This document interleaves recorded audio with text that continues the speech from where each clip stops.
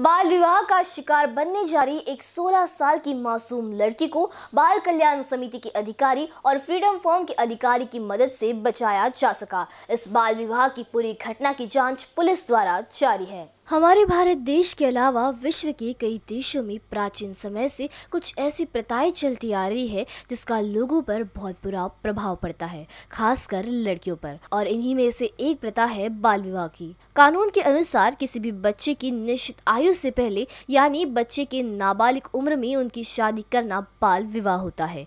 यह एक रूढ़ीवादी प्रथा है, जिसे बाल विवाह नाम दिया गया है। यह बच्चों के मानवाधिकारों को खत्म कर देती है। इसी बाल विवाह का शिकार बनने जा रही एक 16 साल की मासूम लड़की को बाल कल्याण समिति के अधिकारी और फ्रीडम फॉर्म के अधिकारी की मदद से बचाया जा सका। इस बारे में संपूर्ण जानकारी दी फ्रीडम फॉर्म के अधिकारी जॉयस मसीह ने। मेरा नाम जॉय मसीह है। मैं फ्रीडम फर्म में एज अ ऑफिसर में वर्क करता हूँ। हमारा काम है एंटी ह्यूमन ट्रैफिकिंग पे काम करना। जितने भी बच्ची ट्रैफ़िक की जाती है उसको वेश्यावृत्ति छुड़ाने का काम हमारा है। मुझे कल रात साढ़े नौ बजे के आसपास गुप्त सूत्रों से पता चला कि एक छोटी बच्ची है माइनर लड़की जिसका विवाह किया जा रहा है जो जबरन विवाह कर किया जा रहा है। एक दिल्ली का कहीं लड़, दिल्ली का लड़का है वो यहाँ का शादी कर रहा है बच्ची का और यहाँ से उसको लेकर जाएगा।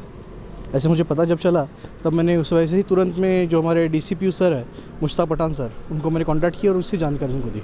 इस दौरान बाल कल्याण समिति के अधिकारी से इस बारे में जानकारी पूछी गई तो उन्होंने घटना किस तरीके से हुई इसकी जानकारी दी। इस दौरान उन्होंने ये भी बताया कि 16 साल की किशोरी का एक छोटा भाई भी है और उनके माता पिता नहीं है, जिसके चलते उन दोनों बच्चों को उनके ताबे में ले लिया गया है।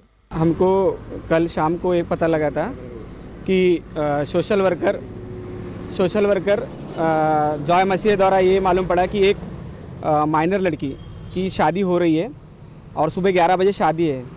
तो मैं, मेरा परिचय दे देता हूँ। मैं district child protection officer Mushtaq Pathan और मेरे साथ विनोद शेंडे संरक्षण अधिकारी। हम लोगों ने, हमारे जो हेड है district woman child development officer Shrimati Aparna Kolle, इनको इन्फॉर्मेशन दी सुबह और उन्होंने निर्देश दिए कि तात्काल शादी रुकवाई जाए। तो हमने तुरंत हमारे लॉ ऑफिसर वगैरह सबको लेकर और बाल विकास प्रकल्प अधिकारी सचिन जाधव इनको लेकर कुछ आंगनबाड़ी सेवक बच्ची के घर में पहुँचे सुबह साढ़े दस बजे। और बच्ची से पूरे डॉक्यूमेंट मंगवा गए कि उसकी उम्र क्या है। तो हमें एक शादी की पत्रिका मिली जिसमें जो शादी करने वाला जो व्यक्ति था वो दिल्ली से था। तो, तो हमें डाउट हुआ कि हो सकता है ये दूसरा मामला हो सकता है। फिर बच्ची की स्कूल से टीसी निकाली गई।